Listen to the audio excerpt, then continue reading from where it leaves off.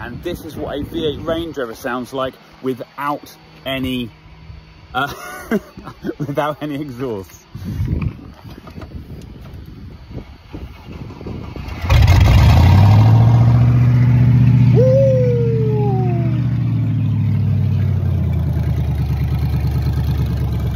Tractor time.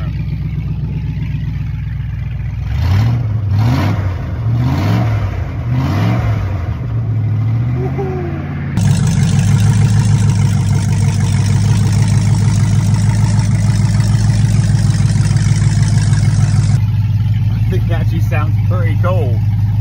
Basically what a straight through pipe would sound like. Did you do this to your Range Rover?